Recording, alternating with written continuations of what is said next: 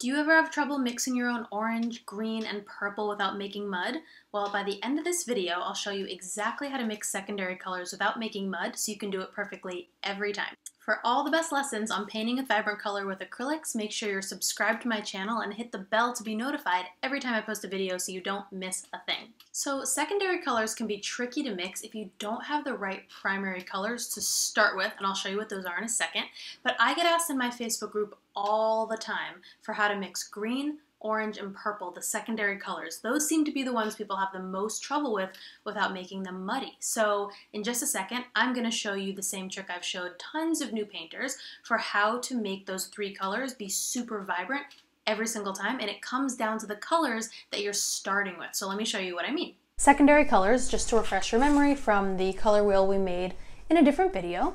Secondary colors are gonna be the colors that are made from your primary colors. So those include orange, green, and violet. So these can be some of the trickiest ones to mix on your own, but I promise you, if you have the right paints to start with, you're going to have better luck mixing your secondary colors. So the ones that I like the most are going to be quinacridone magenta, phthalo blue, and both of the Hansa yellows. You've seen those in other videos of mine, but I want to show you a couple of other options depending on the vibrancy and what you're looking for. So I use golden paint for no other, no other reason than that it's really high quality, it's really great, the pigment is nice and pure and strong, so that's why I use these. If you invest in higher quality paint, I promise you will see a huge difference in your paintings, literally if you do nothing else. But let's keep going and practice a little bit. So let's start with oranges. So I'm gonna use a little bit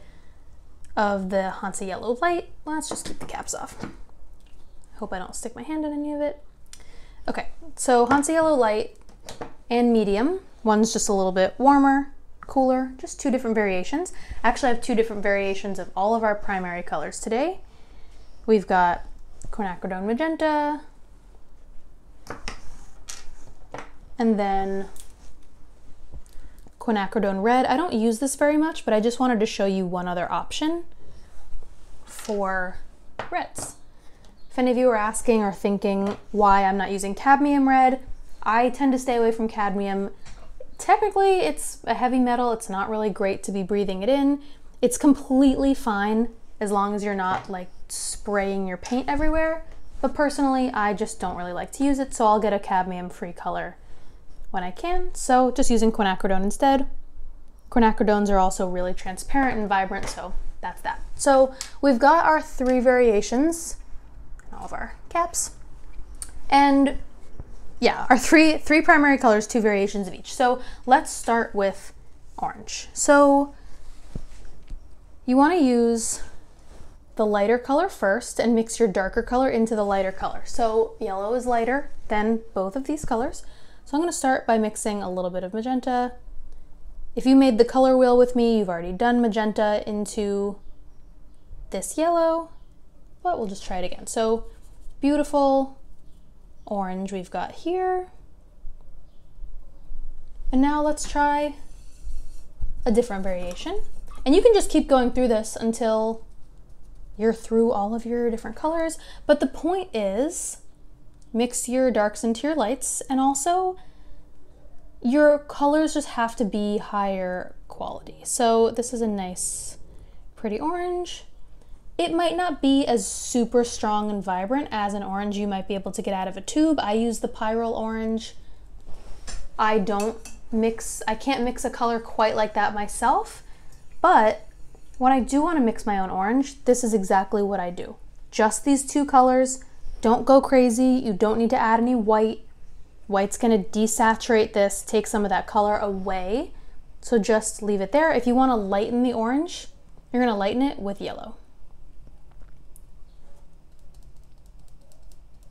Not with white. For reasons I just explained. So, okay, so there's a couple oranges. Now we can look at oranges with the quinacridone red. So again, mixing the darker color into the lighter color. This one comes out slightly different. And it's up to you to decide which one you like better. You can of course label them if you want. I'm just doing this straight into my sketchbook. Maybe let's see what happens if I make it even darker, a nice darker orange.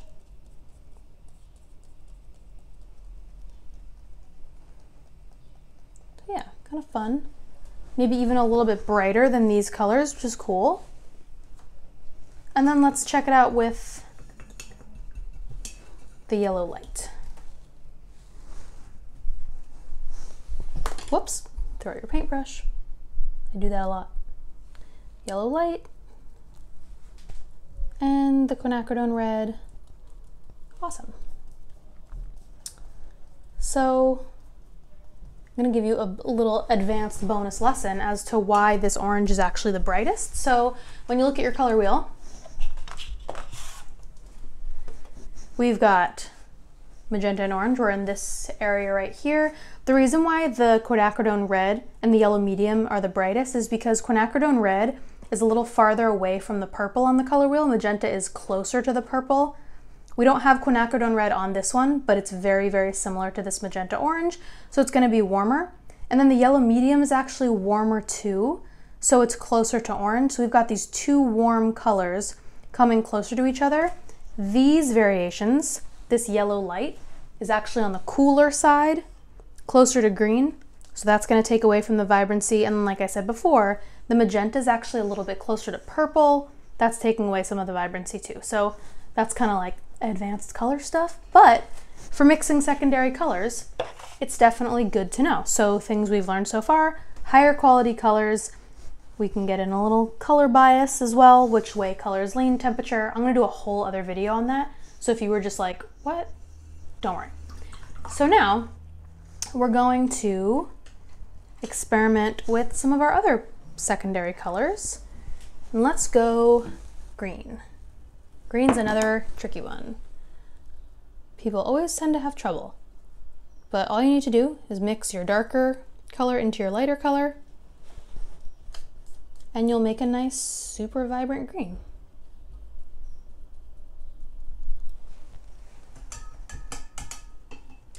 New brush, save a little time. Now we'll do some yellow medium, phthalo blue. These are really similar and just experiment. Keep on experimenting. If you want to add some of the Prussian blue, you can, see how that works. At the end of the day, you just, when you're mixing secondary colors, you just want to mix slowly using your high quality materials. That's really all it comes down to. I could say it a million times, but it's true. The higher quality your original paint colors or your primary paint colors, the better your secondaries are going to come out. Other things you don't want to do. You don't want to add white to your secondary color mixtures. Let me show you why. So I have a little white over here. I'm going to take this. It's not that you should never add white, but if you're trying to lighten your colors or keep them, or brighten your colors rather, the second you add white to them, you're going to end up actually with less saturation. You're not going to get a brighter orange. You're going to get a less bright orange, right? You're gonna get like a cream color. So if you wanna make it brighter, you'll just wanna add the lighter color, which is yellow, which I demonstrated for you right there before. So that's how you're gonna make your secondary colors. I'll show you a quick purple. Let's see. Let's take some of the magenta, a little bit of the phthalo blue, gorgeous vibrant purple, could even add a little white to it to really bring it to life. And that's really pretty. And I'll show you.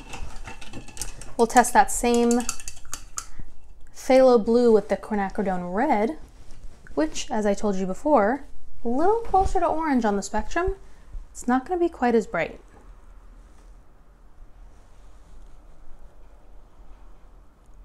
You can already see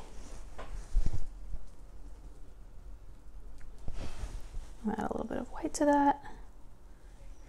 It's just not quite as vibrant of a purple. And that's because the quinacridone red is closer to orange on the color wheel. The farther away from purple, the less vibrant it's gonna be. The magenta is right there, super vibrant.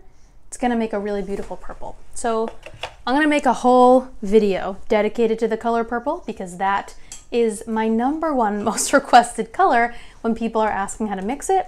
But this is how you create secondary colors. Choose high quality paint colors. If you're able to choose warmer and cooler variations of your colors, do that too.